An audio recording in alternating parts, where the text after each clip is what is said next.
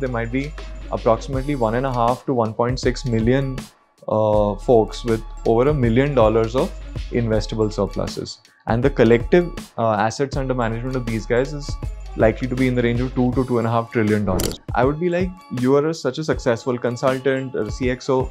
How has your portfolio got to this point? How did you think about getting that first set of users, and especially given this is a trust business? Personally, my time, I think 70 to 80% of the time then and now still goes into hiring. But we certainly have used, let's say, the digital watering holes like LinkedIn to create um, a strong presence for ourselves. The fact that people were thinking of us and coming back on their own to top up was the first indicator for me that okay we are on to something here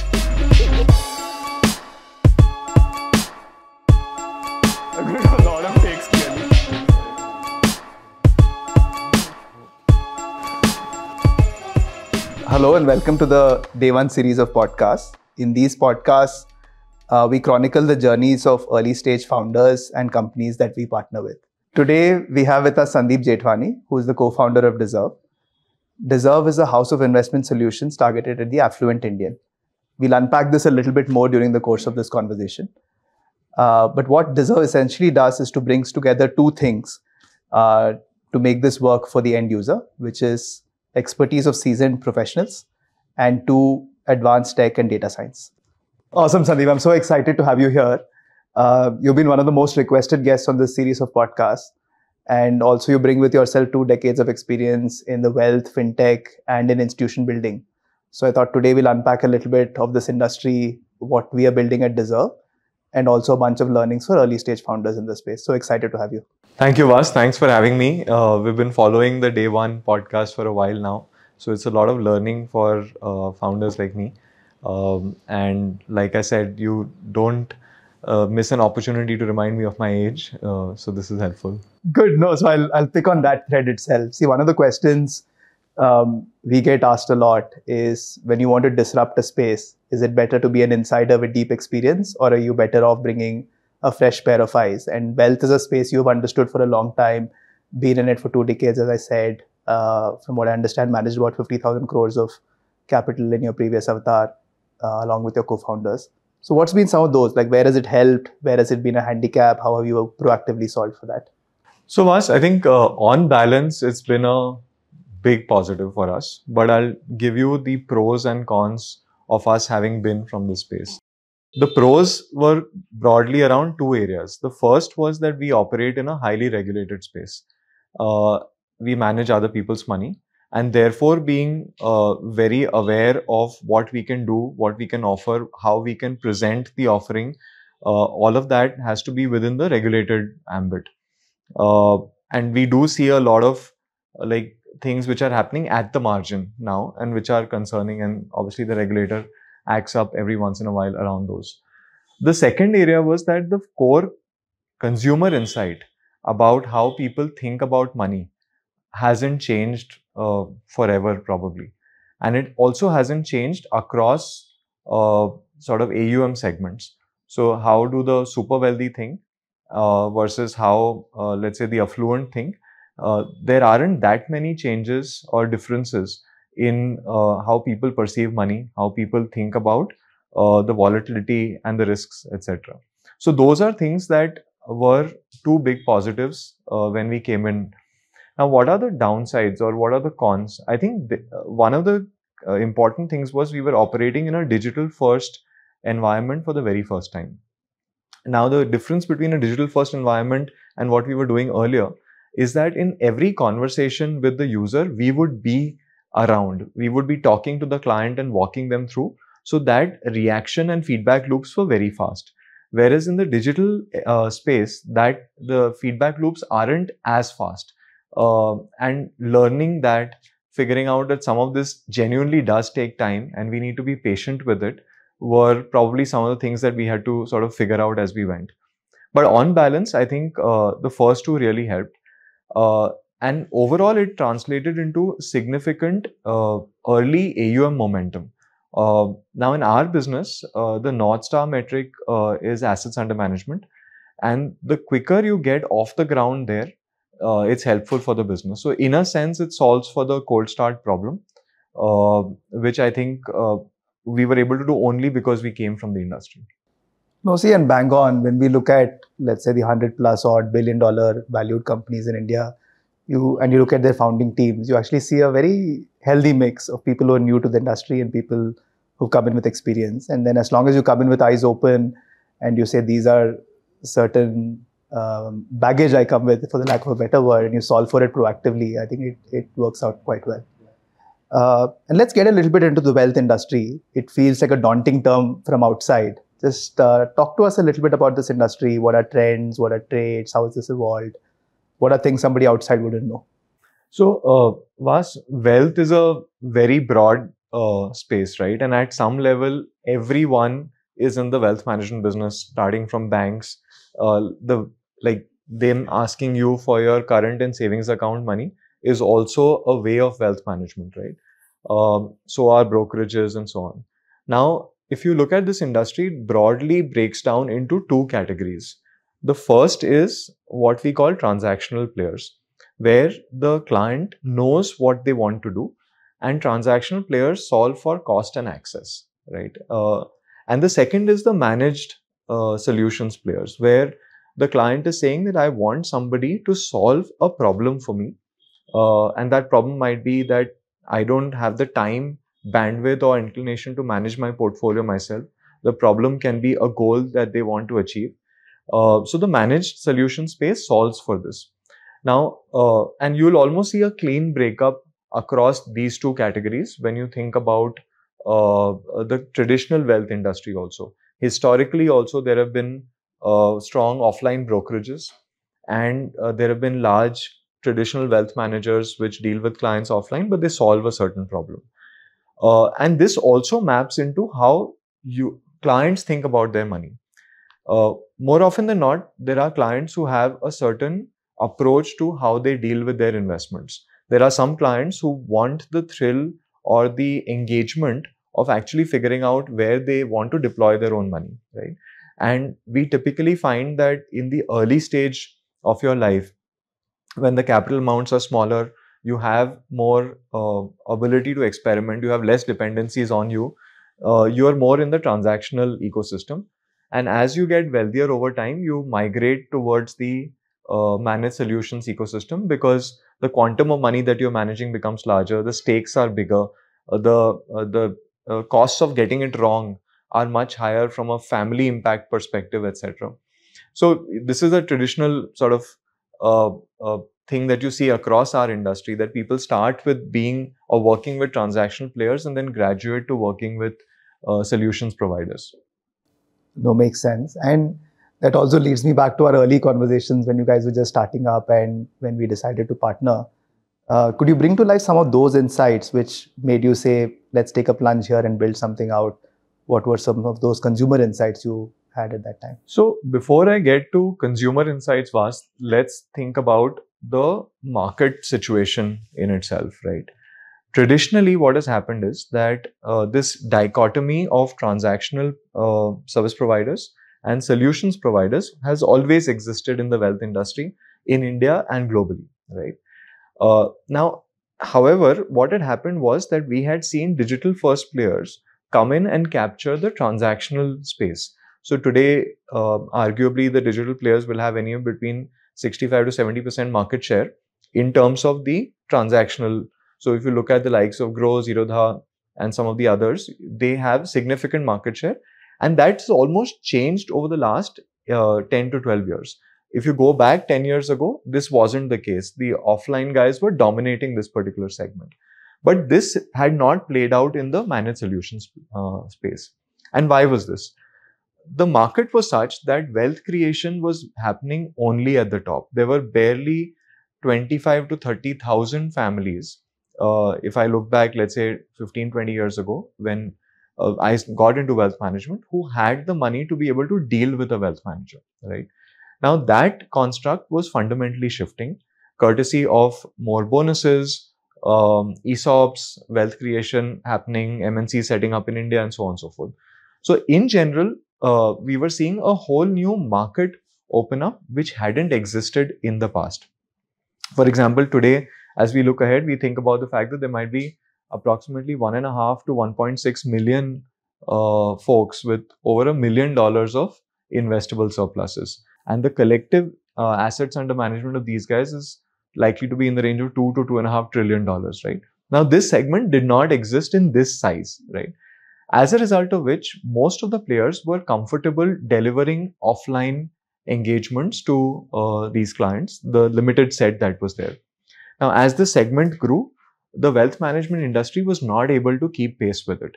So, at the very first instance, we were seeing that the number of potential clients who have investable surplus relative to the service providers uh, had increased dramatically. So, service providers had not kept pace with the number of clients which were out there. Uh, so, that was one. Having said that, there was this fundamental issue that how do you trust a digital brand to give significant sums of money? And I think COVID was a big inflection point in this behavior where suddenly people were forced into a situation where they were dealing digitally, right? So uh, if you look at if you look back, let's say a few years ago, if you wanted to send five lakhs or ten lakhs to somebody, you would write out a check. Today, if somebody asks you to write out a check, most of our clients don't even know where their checkbooks are, right? So that is a fundamental shift that happened over the last few years that allows players like us to exist today. So that was, I think, the market uh, construct in which this was happening. As far as the consumer insight goes, I think going back to what I was saying earlier, that when you have more money and you have more demands on the money, you have kids growing up, uh, you want to buy a bigger house, uh, you want to travel abroad, etc. The what you expect from this money increases, and the risk of getting it wrong is very very high. So there was an inherent anxiety that people had uh, about if their portfolios are being managed well or not. Uh, and this was the first time uh, it sort of got accentuated during COVID. So what was happening is uh, this was mid 2020. I was getting a lot of calls from my batchmates from IIM Bangalore and saying that why don't you have a look at my portfolio? And they would send me their portfolio, and I would be like, you are such a successful consultant or CXO. How has your portfolio got to this point? Like how how did you mismanage it to this level? And then is when I realized that they were concerned about uh, how their portfolio was performing and they did not have the right uh, advice. Uh, and that sort of almost like drove us into a decision that we should solve for this ourselves for people like us. No, and it's actually quite insane how that consumer insight has held out well and we've sort of built on that same ethos. And today, if I describe us, and you know, it's it's quite a mouthful. I was trying to remember to say this correct. We're building the largest. Um, okay, let me redo this. We're building the largest house of investment solutions for affluent Indians. Yeah, it's a loaded term. Unpack this term for us. So yeah, it's uh, something that we've come to uh, describe ourselves as over the last couple of uh, years. It's it's not something as clear uh, when we started when we first spoke to you, but let's let's break it up into three parts, right? Let's take the affluent Indian segment first. Who are affluent Indians? Uh, typically, anyone with more than a crore of investable surplus falls in the uh, uh, you know the absolute 0.1 to 0.2 percent of India, and that's the segment that we are solving for. Uh, this particular segment has grown in different ways, uh, courtesy of uh, GST and to some extent DeMon a formalization of economy happened. Uh, so a lot of SME folks joined this particular category, which earlier were investing into, let's say, gold or real estate. The second, and to our mind, the biggest category that has opened up within this is the uh, senior working professional. Uh, salary uh, brackets have changed uh, very dramatically. Uh, wealth creation is happening through ownership of equity. Um, so I think that is the second. And the third is the Indian diaspora where uh, Indians who are living abroad doing really well are sending money back to India and they want to be a part in some sense of the India growth story. They want to keep an option of returning back to uh, home base at some point of time, right? So that's the affluent Indian uh, category. In terms of the house of investment solutions, right? The like I said, what what is Dezerv really trying to do? We are trying to solve problems that people have with their money. Uh, what they expect from their money and how this will get deployed if this is, let's say, growth capital or steady return and so on. So we create investment solutions which span public markets, private equity, uh, structured credit, uh, global assets. We provide solutions to non-resident Indians looking to invest back into India.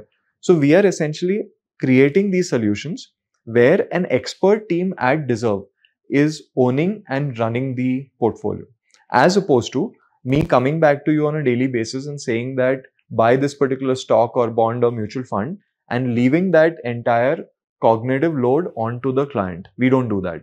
We take the responsibility, we deliver performance, and uh, in in large part of our business, we get compensated as a result of that performance, mm. which is we operate on a only a share of profit model. And the the third part, which to my mind is the most uh, important, is the trusted bit. Uh, any financial services player needs to make trust their core ethos, like delivering to the trust. And this requires us living it on a daily basis with every decision that we are taking along the way. For example, how we communicate uh, to potential clients or uh, how we review their existing portfolios through Wealth Monitor or what we do with their money, how do we make money, how do we engage with regulators. All of that has to amplify trust. Uh, and which is why it's sort of like an internal guiding mission also that we have to make sure that we end up as being the most trusted in this particular category. The opportunity is that if you think about affluent India and think of one brand which you associate as being trusted by these folks, I think that's a white space. Uh, so it's that's exciting for us. See, and that today feels very crystal clear. But I also remember this journey of us getting to this clarity to say what exactly are we building and to really articulate it in one line. Maybe describe that journey for us. How did this happen? And actually, a related question is, you know, it's very obvious on day one you never have this sort of an absolute clarity on exactly what the product and what the mission is. Um, at what point do you say this is good enough for me to start? Yeah. I think in general, it's never good enough, but I'll um, tell you uh, how. So, what was the fundamental consumer insight which we referred to was that we believe that people are concerned about are their portfolios keeping up and uh, whether they are performing the way they expect them to perform. And if uh, there's somebody who can do it better, how can they trust that service provider to handle it better for them? For us, going in, the thing was let's solve for uh, the visualization of how your portfolio is currently doing, uh, which was a very big challenge for most uh, users. A lot of our clients are people who've dealt with multiple different banks. Let's say you were in a salaried job at one place, you opened a salary bank account there, made some investments via that RM. Then you moved to another company and a new bank account got opened, and suddenly a new RM was dealing with you, and so on. So you had money spread across a bunch of places you don't know whether that is performing in line with the market, underperforming, outperforming. There's a lot of party conversation about how somebody else's portfolio is doing better. So we said, let's solve for this particular thing first. Uh, and we sort of gave multiple attempts at it. The initial ones didn't quite work the way uh, we visualized it. So we actually didn't launch a large part of uh, what we had worked on. But this finally ended up becoming what we now call Wealth Monitor where essentially uh, using a seamless process, we import uh, the existing portfolio using a consent layer. So we take the client's consent on uh, pulling their current portfolio information from multiple sources and then are able to show them clearly how the portfolio is doing.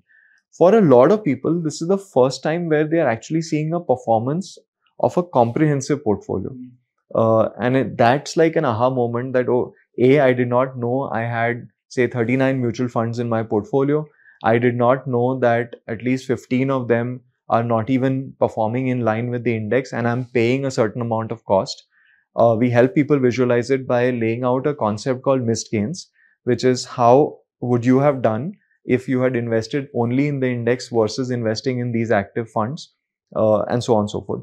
So some of that uh, has now become sort of like a way for us helping clients deal with us even before they start making their first investment with us. So that was the first part of the solve. And the second part was uh, we were clear that we will always be a solution provider. We will not load the client with all the decisions of figuring out which fund, etc. So we started creating portfolios around how we would manage money, both on the PMS side or portfolio management service, as well as on the mutual fund side unlike other wealth managers, we don't tell you which specific fund to buy. We ask you for your objectives. We have certain portfolios built around those objectives and then we run them. So these were the broad two things that we ended up uh, solving for. No, see, and internally also we speak a lot about those initial design choices. And what struck us even when we met you initially was some of those early design choices you were making on how the portfolio review would happen, how we would take a solution approach and that from there starts to evolve but i think your initial set of design choices has to be very bottom up very consumer driven market driven so that was always amazing to see uh, and you know one of the things there is that you make a lot of mistakes along the way right we in fact uh, uh, came up with this concept of portfolio score. I remember that. So this morning before the podcast, I was actually opening up our first memo, yeah. and I saw some screenshots of this portfolio score, and uh, it was a nice walk down memory lane. Exactly, and even I and I think about how like how silly it was, like in a sense, because uh, the what would a additional number do to a user's life, hmm. right? Like so, some of that got us to question and constantly figure out whether are we on the right track. Uh, uh, so the moment we showed some of those feedbacks to let's say even family members or the, those screens to family members for feedback, uh, they would nod along like. Uh, and I later found out the concept of the mom's test. Uh, uh, that you shouldn't ask your immediate family for feedback because nobody said anything, but nobody showed any excitement, right?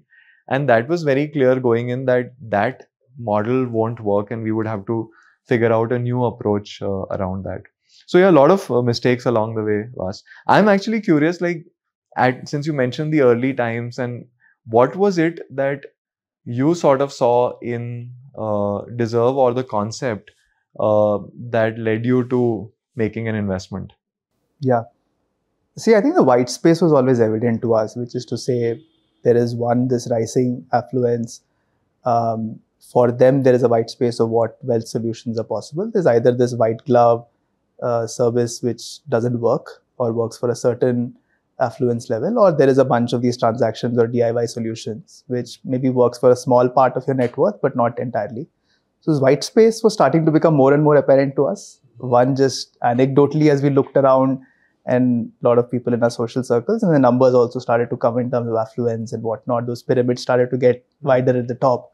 Um, so that was always apparent to us.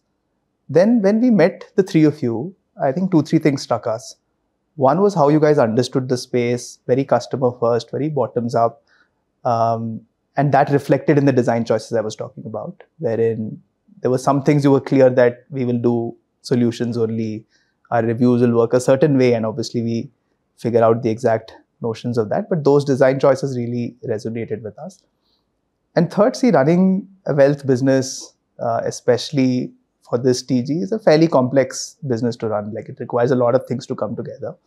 That's where again we thought the three of you uh, brought uh, very complementary skills to the table um, across investing, client experience, uh, product, bunch of those other things which was needed. So that sort of came to, together for us. No, very interesting. I, I remember the first time we actually flew down during COVID to uh, meet you guys, and we were like all masked up and yeah. in uh, I think my first meeting suits. in office uh, yeah. after COVID. And in fact, you know, I think the round could have happened online, but I sort of insisted that you know we should meet because it seemed like we are getting into a very long term journey together, and uh, without like meeting and given how old again we are that we just couldn't get ourselves to uh, getting on a long-term partner uh, online, right? So yeah. No, no, makes sense. And let me turn this around. Uh, what made you choose us as your partner? And maybe also broaden it out to say for early stage founders who are looking to uh, get the right VC partners along, what advice would you have? Um, so uh, a lot of things actually came together, uh, Vaas. So let me talk about how we perceived elevation before we met you guys, right? Uh, and what happened once we met you. Uh, before we met you guys, there was one that you guys are investors in some very large outcomes um, and have partnered those companies through a lot of thick and thin, right? Today, some of the largest companies uh, that you folks are investors in, let's say Paytm or Swiggy, etc., didn't never had linear journeys, right? Uh, and to that extent, it was very reassuring that uh, you have seen, uh, and as a sort of older founder, you know that going into the business there will be lots of volatility sometimes because of the company sometimes because of external environment so that cred really stood out for us the second uh, was that uh, when we spoke to other founders uh, the founder nps seemed very high and very few people were able to articulate what they liked but they kept saying that elevation folks are nice guys right uh, and I think it meant different things for different people, but the uh, net substance of that was that the NPS was very positive. So that made sure that we should talk to Elevation. And then we were introduced by a common friend. And when we met you guys, that sort of got solidified. That it seemed like it was very uh, first principles, down to earth kind of an approach to uh, thinking about the problem. A lot of the initial discussions were less pitches, but also to some extent conversations around okay, what if we were to do this differently, and how would how are you thinking about this? So in a sense, it didn't feel like us like doing a, a sort of a pitch to you versus it seemed more like a discussion. Uh, and I think that really helped give us the comfort that uh, this can be a long-term partnership that we can embark on. Uh, I think the other thing which towards the end of the when we were putting together the round, I think you guys also helped think through the right partners, uh, the round construct, the kind of angels we should bring on board, the kind of advisors, mentors we should bring on board, which I think also like even before the money was wired, sort of created that comfort that we have now a partner to discuss things with. So yeah so i think some of those things uh, really worked out for us and i think each one of those things has played out over the last three years of uh, the partnership uh, in terms of other founders honestly everyone has their own unique journeys. But uh, what i would like think today is that we shouldn't founders shouldn't think about this as a as a pitch. Because at the end of the day this is a partnership that you're entering into. Sometimes uh, courtesy of a lot of social media and to some extent Shark Tank, it seems like this needs to be like this high powered pitch where you're coming in and saying all the right things and then people will make a decision in five minutes. Uh, honestly, investment conversations and certainly uh, private equity or venture capital investment conversations are not and should not be like that, right? It's a very long term thinking that you have to, and from there, that perspective, the conversations with uh, investors should be more uh, discussions as opposed to pitches. No, makes sense. I and just to reflect back on the conversations, I think I remember the session we had on GTM, and it's also sometimes funny to think back of what we thought to what we're doing today, but it's always uh, fun to have those chats and I remember this whole concept of watering hole you introduced to us, and then it was this long chat on what are the different watering holes you could go to, and yeah. uh, it's a term I have picked up. I've started using it a lot these days. Funnily enough, uh, finally after all of these years, now it's beginning to make sense. The concept of watering hole, which is like the the right areas that where we should be present to be able to attract the clients that we want to go after. Uh, the concept has remained but the way it manifested has changed. So we had thought that we'll work with corporates and go on and try and market our solutions there.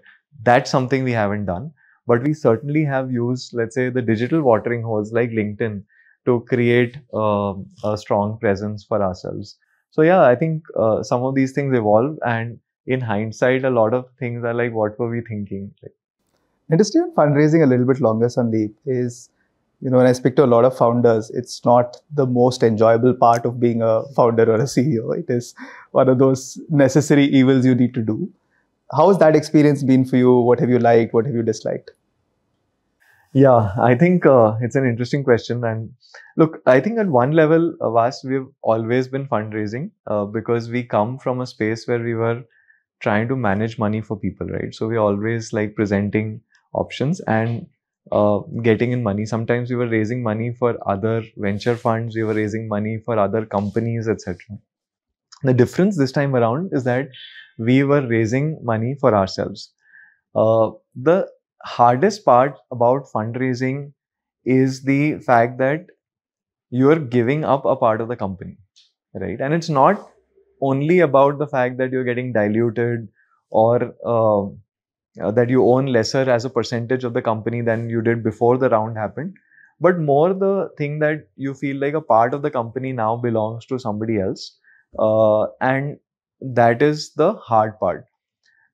As a but that's a necessary requirement to run a business right? You need capital. And at the point at which you embrace that and say that this will be uh, this is good for the company in the long run i think that mental mindset made a big difference. The moment you think about okay this will be good for the company in the long term you think about what will work uh, in uh, in the favor of the company. For example what is the right type of partner? Will i be able to work with this partner over the next 5 10 15 years right? So i think that has been a process for us. It uh, in the very early days uh, the conversations were positive but going into any new round it's almost like this overwhelming sense of uh, doom that oh my god i have to get in this process all over again and do it and now it's been a couple of times. So uh, I wouldn't say it's enjoyable. It is, uh, but it's something that we now embrace with a much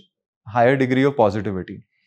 In terms of the tactical things there, I think one thing that's really helped us is that we now put together, uh, let's say, going in a list of uh, the people that we want to partner with, right? Uh, we would put together a list of, let's say, 10 or 15 funds that we want to speak or meet to. Even within those funds, we would put together the right partner who is familiar with this territory, but also uh, has good NPS. So that's the second thing. Uh, and the third thing is, is there fitment with the kind of money that we are trying to raise and the ownership that we'll give up for that with the fund's own strategy, right? I think this part of this tactical understanding a lot of founders uh, because probably they don't come from the investing ecosystem they don't have. And that makes sure that your uh, discussions are uh, much more productive. If i don't put this framework together you have a situation where you're presenting stroke meeting a lot of people who may not be appropriate. And that then seems like a whole energy drain uh, altogether right? So i think tactically, I think founders should put together a list of uh, the funds that they want to work with, uh, within them, which partner, and whether the amount of money and ownership matches up to the fund's own strategy. The great thing a lot of funds are doing is now laying that out in the open, and it's also evidence of it from the kind of investments that they've made. No, makes sense. I think good to be very intentional about this whole process rather than go with the flow the other thing I keep hearing about is it's also forcing function for you to step back and take a slightly more long-term view of the company. Also take stock of what are things today. Do we truly have PMF? Do our channels truly scale? Where does this company go five, seven years from now? Do you agree with that? Does that resonate? Absolutely. I think uh, see any external discussion is uh, actually gives you room for introspection. Like you figure out whether uh, you are in the right place. Going into the fundraise, uh, you know, when you look at your numbers, which you do even otherwise, but the fundraise process allows you or forces you to step back, like you said. When you're looking at from a high level perspective, suddenly you begin to question some of the decisions that you've made and you will make uh, in the past. So I'll give you uh, an example. Like in the early days, the uh, thing was that we will launch a whole set of solutions all almost at the same time, hmm. right? Uh, when we got into the our Series A fundraise, we realized that a certain set of solutions is doing really well for us. Uh, and then we have this whole long tail, which uh, probably the customers are not caring enough for, right? So why are we running them on sort of maintenance mode? And we, that allowed us to uh, almost like close off some of those things over a period of time. Now, this thing to my mind wouldn't have happened if we were not doing this stepping back. Uh, and now it's also become a company thing where every few months we take a step back and see whether uh, outside of the fundraise. But some of those things really helped us become sharper, more focused. The other thing is also it helps the company in a way that your storytelling, and I don't mean it in a bad way, gets better even internally. So, for example, if let's say uh, I'm communicating a pitch to the investors, and I've worked with you specifically on our pitches in the past, I think as it gets sharper and we narrate that same story internally, the vision and the alignment becomes tighter. So I think in that sense, the fundraise process has significant business and cultural benefits also. Oh, makes sense. And I think once some of this gets a little crystallized, I feel just even repeating it, making sure aligned really helps. I remember how you start all our board meetings with that one line we spoke about, and just to get everybody aligned to say this is the big north star we're working on. Um, sounds good. So I think the we've spoken a little bit about the early part of the journey, fundraise, etc. So now when you start building the product and you started putting it in the hands of the users, at that stage, what were North Stars for you? What were you tracking to say this works? So actually, uh, we had two sets of products almost at the same time. Uh, one was the investment solutions in themselves, and the second was uh, the wealth monitor where the portfolio review was happening. Uh, the wealth monitor, honestly, like the going in, the thing was that how much of assets under tracking are we able to bring onto the platform? Uh, because assets under tracking is a function of multiple things. First is, am I able to communicate the value prop to uh, users bef- uh, before they sign up? Uh, second, am I able to cover all of their assets or large enough part of their portfolio and their family's portfolio? And third is, am I able to deliver insights to them which will cause them to come back and use Wealth Monitor again? Because if they don't use and they fall off, the assets under tracking also goes down. So, uh, Wealth Monitor was built to sort of solve for all of these. Like the narrative that we lay out when we communicate the value prop to what they see, to the ease of uh, importing the portfolio, to the insights that we show them, right? So these were the three broad buckets.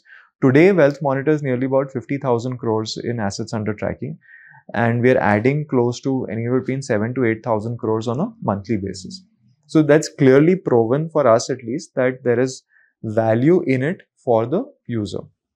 The second bit was that having seen some of the insights that we offer them, are we able to solve for some of the problems that they're seeing in their portfolio? The core part of majority of portfolios, and actually this was neglected by, I'd say, most of our industry for reasons of uh, economics not being so great, is the core mutual fund part of client portfolios. The common assumption in our industry was that mutual funds don't require active management, right? And if that were the case, Wealth Monitor should have shown outperformance for most clients. But actually, 85% of portfolios that we review were underperforming the benchmark, right? And on this 50,000 crores alone, the missed gains is close to 2,000 crores. So, had these investors not invested in these funds but invested better, they would have had 2,000 crores more worth of assets, right? So, uh, uh, solving for this core mutual fund part of the portfolio was something important. Uh, our flagship strategy, which we now call Equity Revival, uh, solved for this using a data driven. So, there again, the investment uh, platform, the process, the team, that all required a build out. So, a lot of our tech also that we built along the way was very, I'd say, inward looking or not customer facing. But that was an important uh, requirement to be able to deliver a great uh, portfolio outcome and therefore an experience.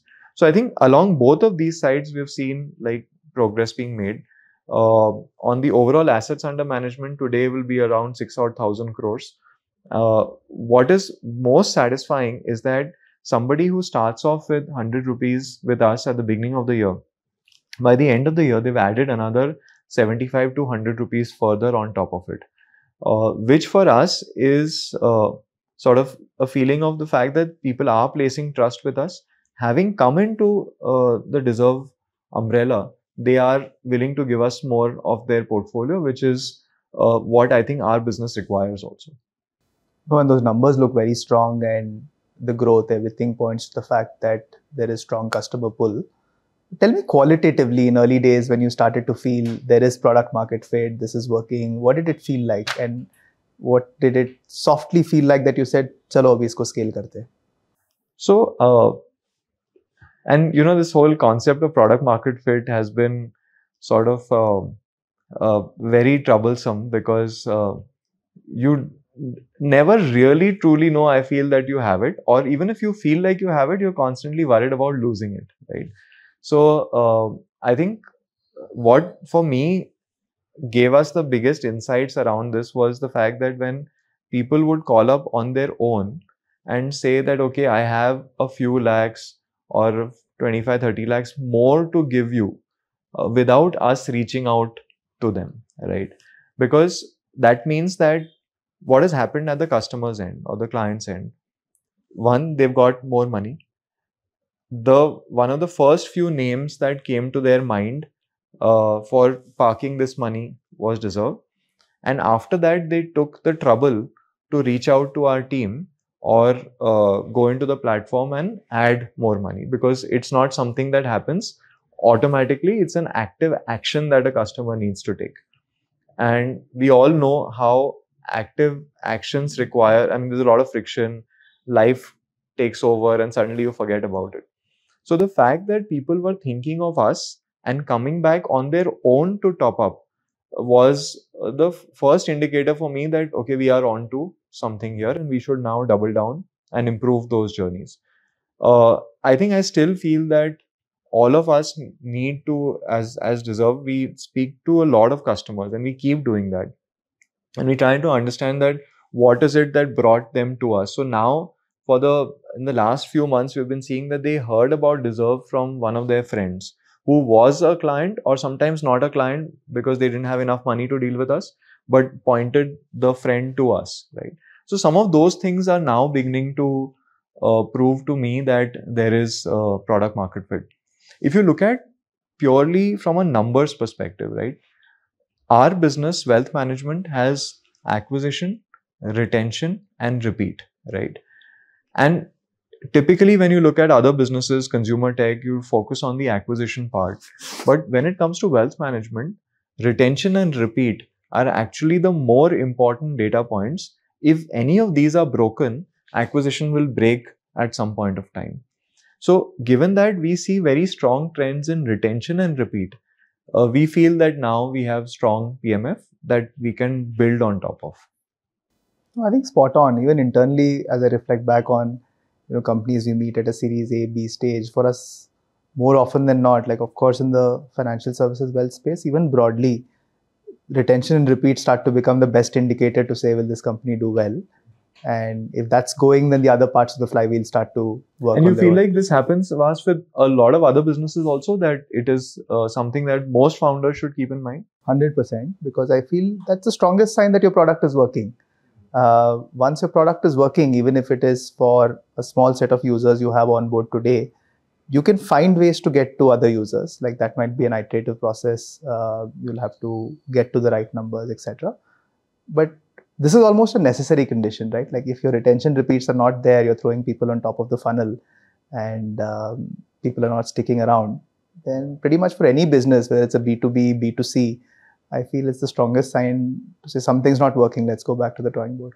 Interesting. Makes sense. I think one of the other things, Sandeep, when you were speaking about PMF, was this whole idea of being a uh, everything is a spectrum, right? Like you can never be a purist about anything. Uh, and here I wanted to bring in a little bit of what we do in tech, product, uh, data side. Um, of course, the vision was to say we want to be a digital first uh, player. but it's an evolution in that journey.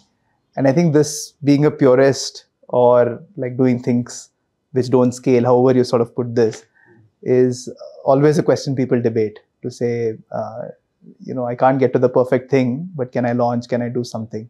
How's that journey played out? Maybe use your tech product journey as a underlying theme, but also then talk about uh, sometimes how perfection is an enemy of uh, action. So, uh, Vaas, I think at the very first thing, we are a wealth management company, right? We manage people's money, and everything that we do is in service of that goal, right? So, the point I'm making is that tech or product or the investment solutions are all areas that we work on to be able to become a large wealth management company that is trusted by a lot of affluent Indians, right?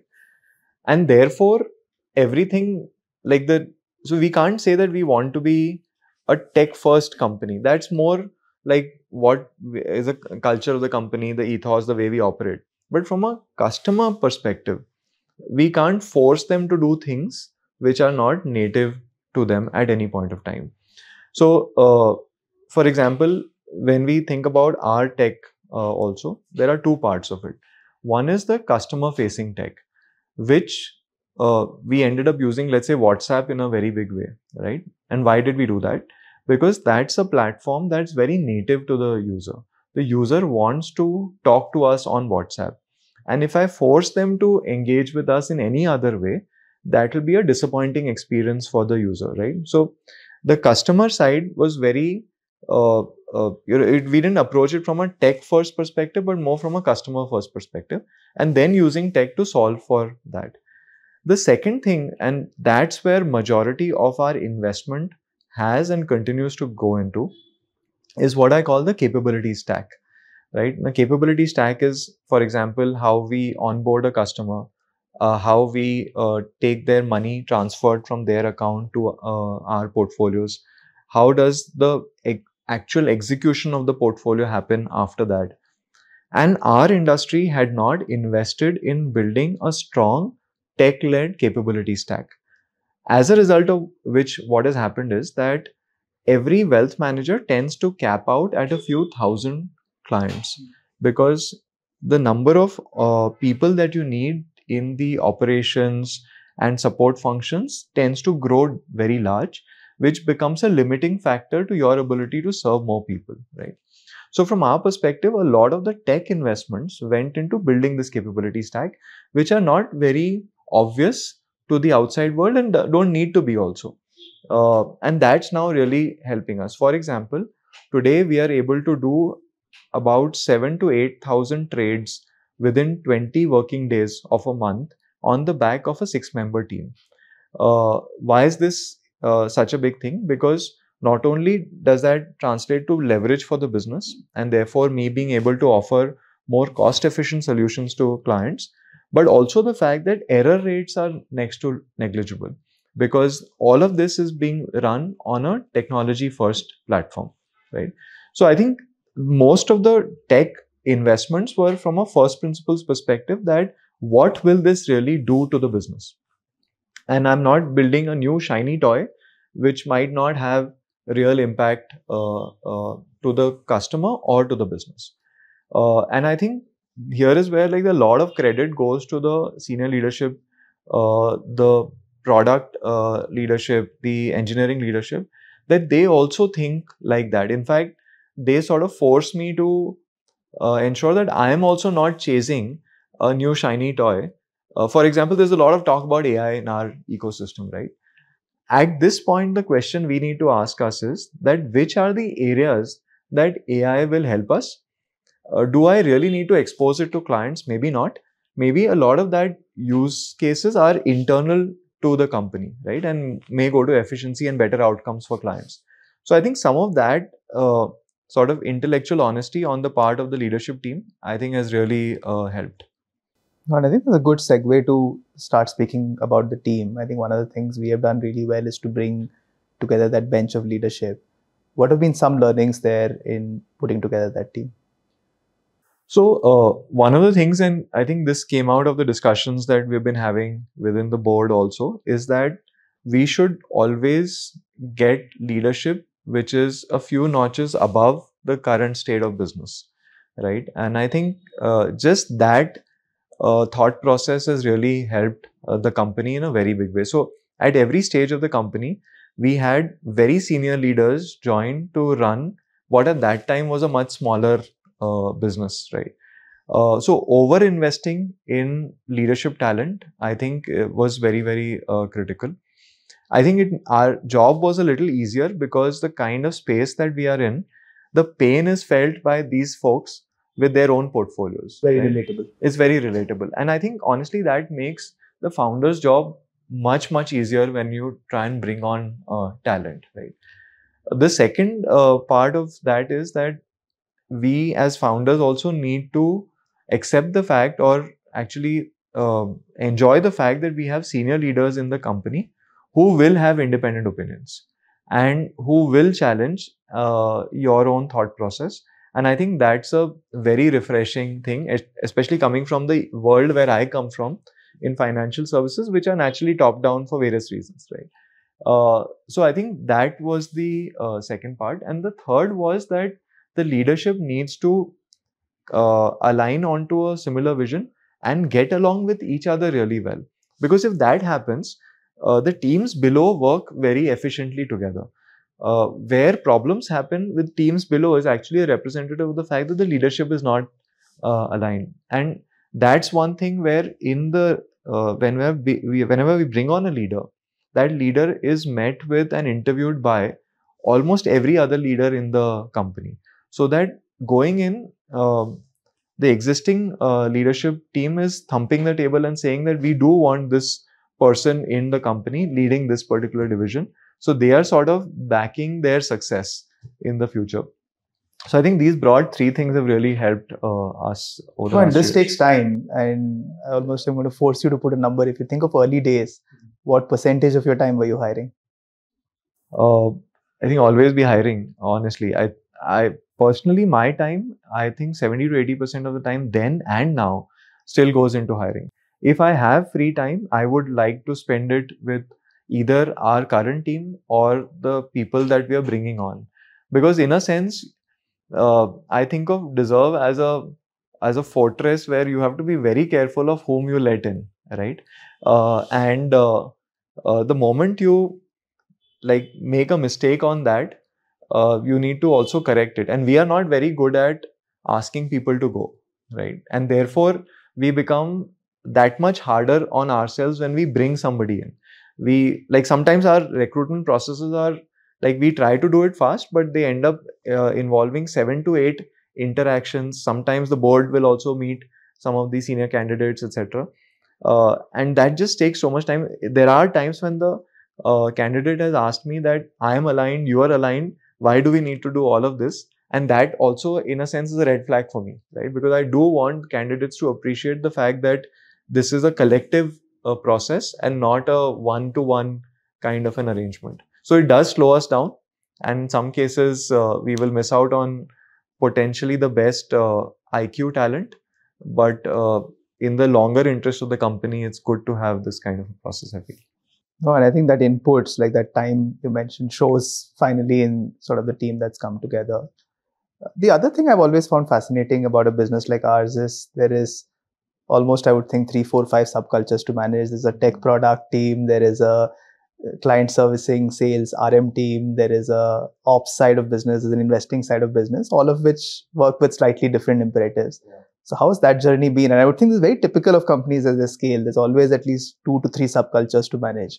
What's been that learning?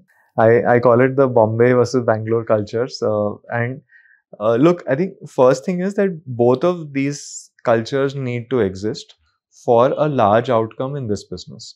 Uh, and I'll what are these two cultures? One is the financial services culture, which is more the way that you you're operating in a regulated space, so you have to be very thoughtful about what you're doing, check everything twice, reconfirm with regulations, talk to lawyers, etc and the other is the consumer tech side of things which is like you want to experiment fast etc and both of these are therefore uh, sort of pulling at each other in very different directions right and i think in the initial phase i did not appreciate how tough this will be. Uh, it almost seemed like uh, we'll get by, uh, but over the last couple of years, this became very clear that we will have to structurally solve for it. And that uh, happened because of the leadership team now is aligned with each other. They know that. So, why is a compliance or head of compliance pushing back on a certain release versus head of product asking for that release is very clear to each other, right? So, at least there is appreciation of the other person's point of view. Uh, and once that appreciation is there, then you're in a problem solving situation versus being in a situation where you are combative with each other. So I think that took some time. Uh, getting uh, every leader to appreciate the other person's point of view, I think, was the solve for us. And if the leadership, like I said, started aligning, then the teams also started uh, aligning over time because, and now what happens is sometimes the product team will think about compliance and legal aspects before uh, they will come to the compliance team and the compliance team will think about growth uh, uh, challenges and before they give their feedback to the product team so i think now it's a healthy balance and this problem also sort of is in different parts like investments and uh, uh, you know the growth teams um, so investments team will not allow the growth team to launch a solution which they don't have conviction in, and I think that's a great place to be in. Similarly, now the growth team thinks about is the investment team aligned? Do they have a structure about managing this money? So I think it's gotten much better over time. But honestly, any company in this space will have this challenge and should too. In traditional financial services, this challenge has been sales versus uh, internal uh, investment team. So it's always been there. In our case it manifests differently. No and it's very real i think to what you're saying. If there is broader mission alignment and there is understanding it all works. And it's beautiful when this orchestra plays out.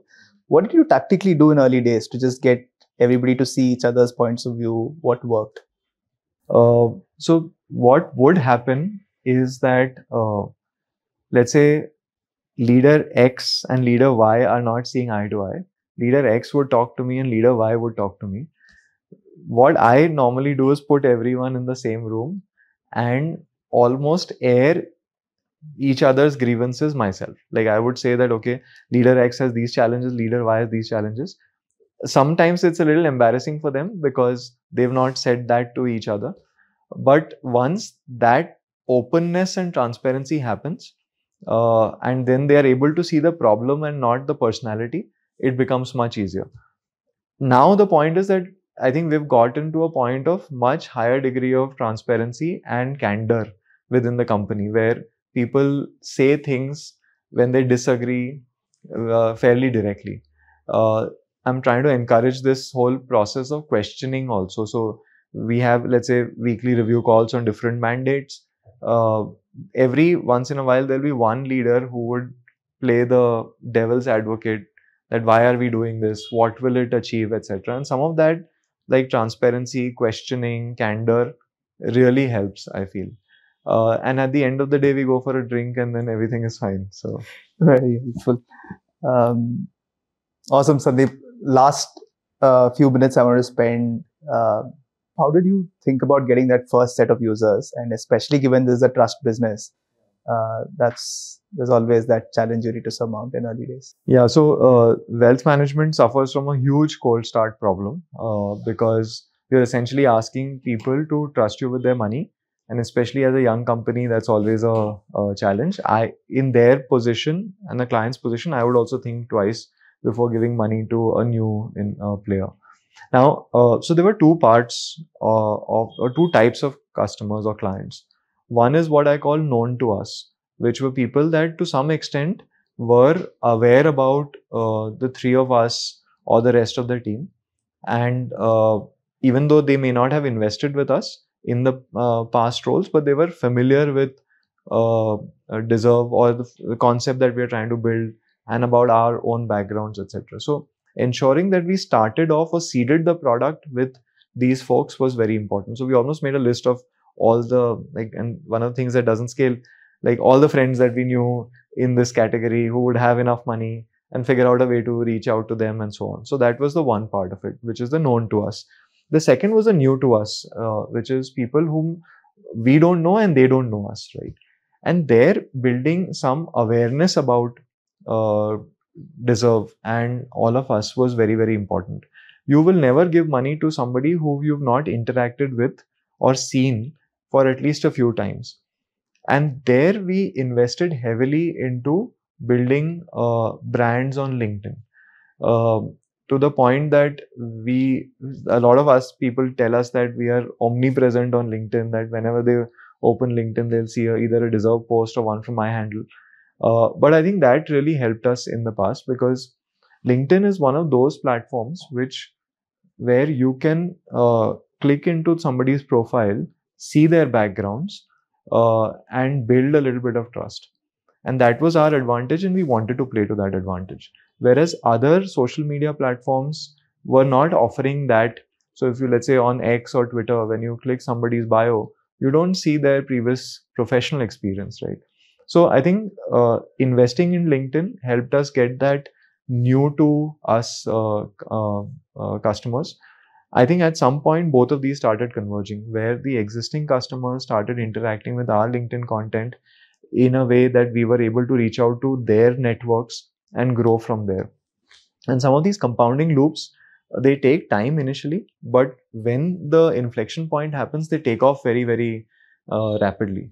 Uh, and I think the one thing, however, is to know that whenever we are uh, trying to grow on a certain platform like LinkedIn, delivering real value to the end user uh, or area of interest to them, something that they can learn from or be better or smarter because of, I think that's very, very important.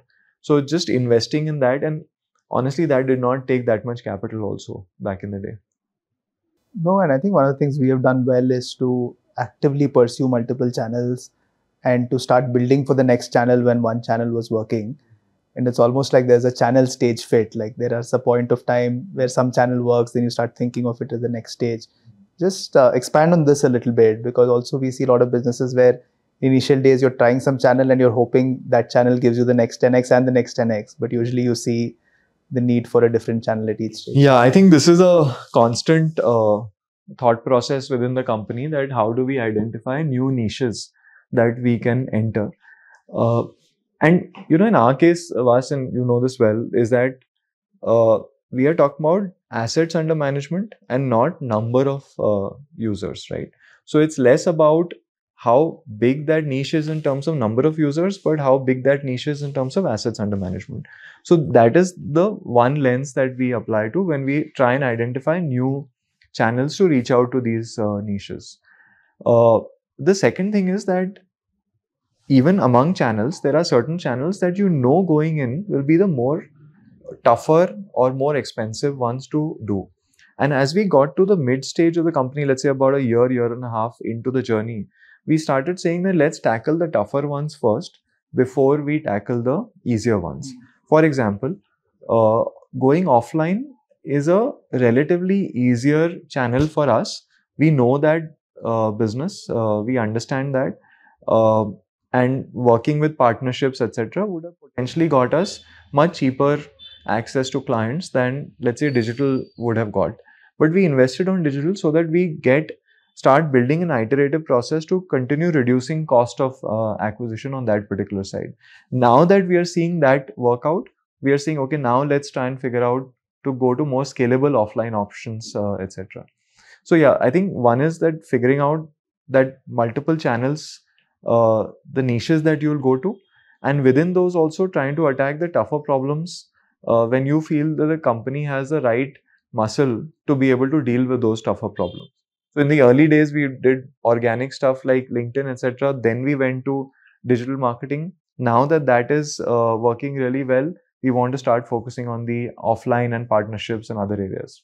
Okay, super. So Sandeep, always be hiring, always be speaking to the customers, always be finding the next new channel. It looks like you're always on to multiple things as a founder. Um, as you reflect back on this last three years out of journey, um, what's been some of the biggest learnings? What do you wish you had known when you had started? What would you want to tell very early stage founders today? Oh, lots of uh, things, and I think that will call for its own uh, podcast and the kind of mistakes that uh, we've made. Uh, like you know, I, and I know that, like going back to campus when I was studying at IIM Bangalore, organizational behavior was not one of my favorite courses. Right? We think about more tactical or finance and strategy and marketing and stuff like that.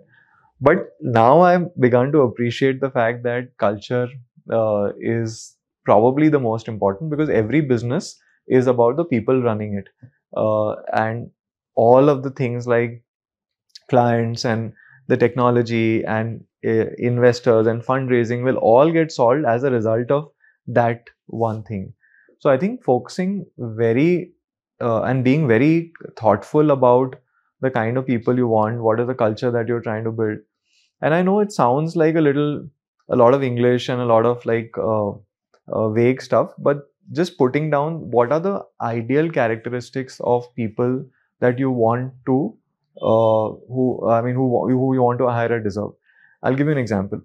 Fundamentally, we believe we are in a services business, right? We we have to be we serve at the pleasure of our client. If they are happy with us, we will do well and we will be happy, right?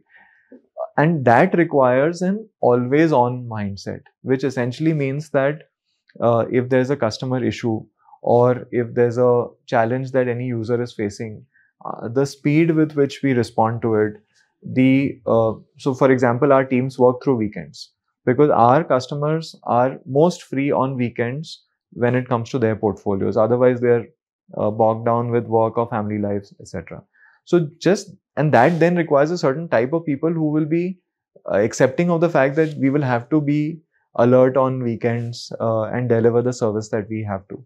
So i think this sort of cultural ethos that uh, and focusing on that and building that i think has been uh, the biggest learning for me. And going back in time i would do this much earlier in the uh, journey would have helped us not uh, make some of the mistakes that we did so sometimes instead of prioritizing like uh, just sheer talent, this service orientation or the fact that are you comfortable being available at all points of time whenever there's a customer issue is actually more important than getting the best person for that particular job if they don't align with this. If they don't align with this, then it doesn't work for our business. That makes sense. And see, one of the other things I've seen is founders almost need to learn and grow every six months. Like there's a new set of skills you need to pick up. We spoke a little bit about channel stage fit. I think there's also founder skill stage fit. Uh, how's that sort of journey been for you? What have you done to consciously say, what does the company need me to do for the next phase of the journey and actively start building that for yourself? No, I think, uh, and this among the three of us uh, co founders has been a big debate as to whether we are stepping up as the company is scaling. I think one thing that keeps us on our toes is that in general, our team is smarter than we are. So uh, they always like, I always feel that am I able to add value to them? And if not, then I need to go back to the drawing board, think harder, read more, uh, be more aware, etc. So I think that's one part. What's really helped me is conversations with other founders. And these are not like those casual conversations, but three or four founders with whom let's say I've built a strong relationship so that I keep going back. And every few months uh, we catch up uh, where uh, over drinks or over a meal where we would talk about like what are they facing in their own and they would ask me and so on. And now that's become like that ritual which helps me. Like i feel like because some most of them are companies larger than us uh, i feel like these are the problems that we will come up on. And if i can work uh, today to stay ahead of that.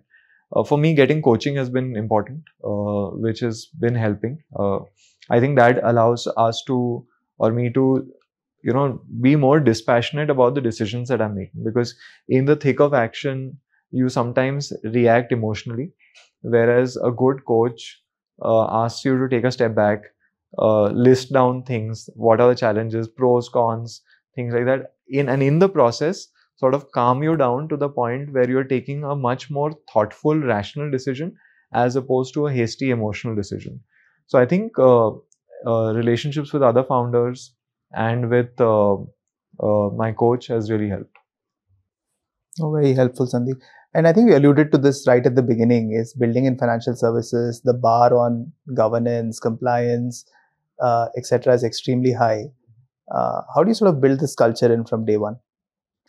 Yeah, I think uh, the one, uh, okay, let's say that everyone in the company is broadly aligned to the success of the company, right?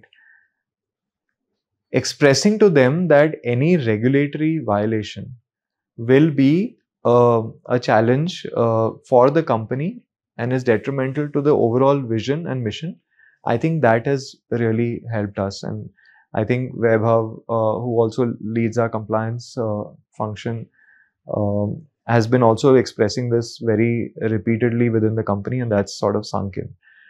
Uh, so Kavita, who uh, looks after our legal compliance, I think every time there's a new SEBI discussion paper, also she breaks it down in a way that the everyone in the company understands it puts it down on our Slack channel so that people ask questions around that.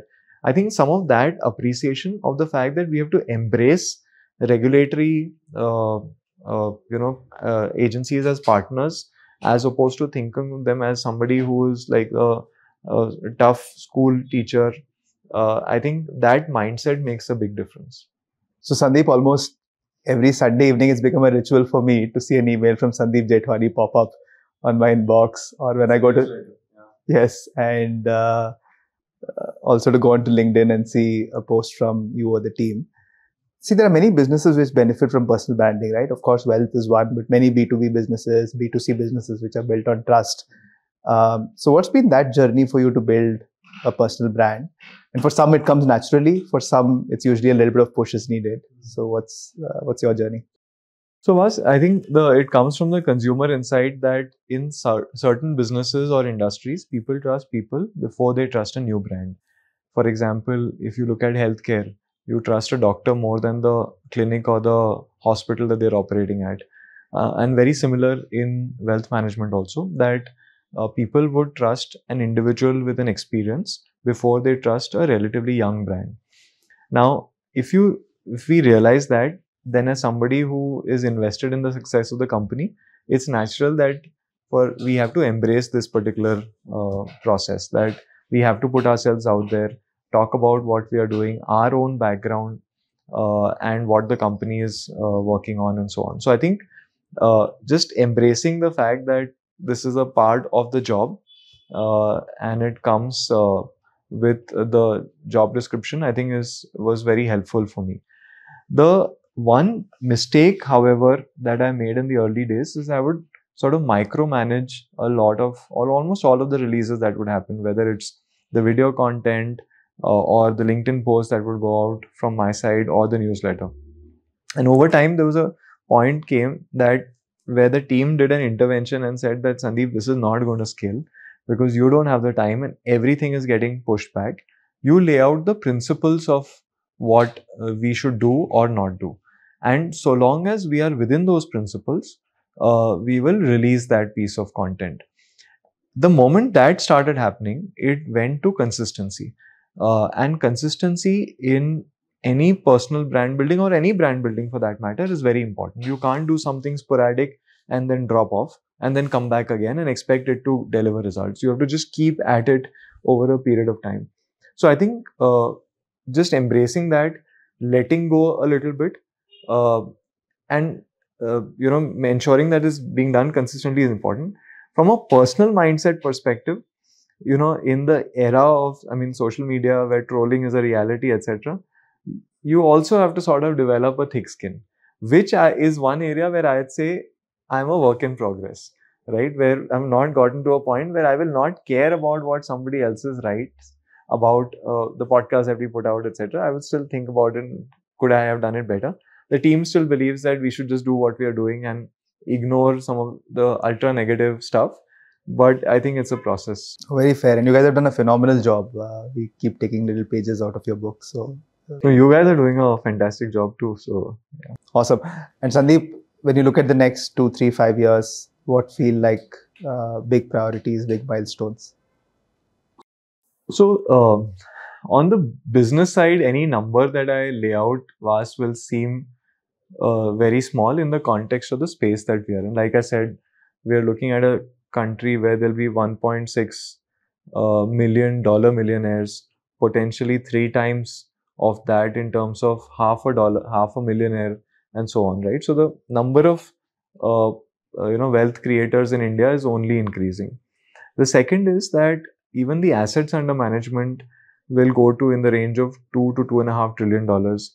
In India, formal wealth managers manage sub 10% of the uh, wealth management pool. Rest of it is very informally managed, etc. So even on the assets under management metric, there's a long way to uh, go. If you look at the current annual revenue pool of our industry is in the range of six to seven billion dollars. Uh, so even that is very large. So all of these are such large numbers that for me to put out any number will seem like a very small outcome, right? And therefore, I think the one thing that we should focus on is that am I becoming uh, the most trusted financial services brand for the affluent Indian? Um, and that for us is truly the vision because not only does that require us to live a journey on a daily basis in a certain way, so it makes sure that we are taking the tough decisions right up front. It also makes sure that the company is built as a platform for a lot of other potential opportunities in the future. If you build a trusted brand, what you can do with it is significantly more than what if you were only doing things tactically. I mean, look at Tata, for example. Like today, whether they are in the automotive space or in the healthcare space or in the retail space, they can launch a product in every particular category and get enough traction early on. Why is that? Because they are a trusted brand, right? And I think we need something like that for the affluent Indian in the financial services space. So at the very highest level, that's the big vision. But uh, in terms of the space that we are in, I think just the tailwinds are so strong. There is $2 billion of monthly SIP flows coming into the markets. There are 40 million mutual fund customers in India. Mutual fund AUM just crossed 50 lakh crores. So just the tailwinds are so strong and sharp that we just have to keep doing our work on a daily basis. True, 100%. And I thought this would be my last question, but you gave me an opening. So I thought I'll ask you one more.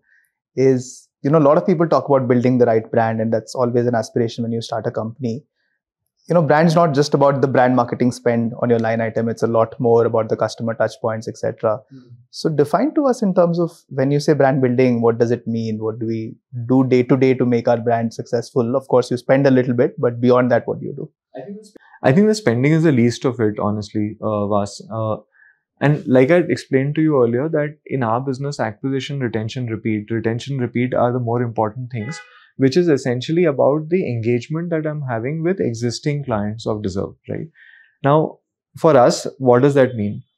Every time we are making a portfolio action, we ought to explain it to our customers. Okay, why is that very important? Because our clients are smart people. They they've done really well in their lives, and if explained what is happening in their portfolio, they will probably trust us more, right? Uh, at what frequency do their portfolio reports go to them? Are the portfolio reports in a way that they can understand uh, them? Are my fee structures aligned? For example, we operate on, uh, for majority of our portfolio, no zero fixed fee and only a share of profit. That's again a costly brand investment because I am absorbing the variability of the market in a way so that my clients can align with me much more, right? So those are actually the tough decisions which brands are built on top of and less on the uh, brand marketing spends. In fact, for the last few quarters, our brand marketing spends have been next to negligible because all of the brand efforts are going into this part of uh, things. So, like for example, one of the common perceptions in our uh, business is that we have to quote unquote dumb down things for clients to understand. That's not true. I think uh, we need to explain it uh, give enough context, give enough data, and people get it, right? If I dumb it down, I will probably miscommunicate some parts, and in the process, uh, you know, break the trust. So these are some of the day-to-day decisions that actually cause a brand to get built. Oh, super! I think that's a great place to end this. But thank you so much, Sandeep. Always a pleasure. Thanks, Vaas. Really enjoyed this conversation.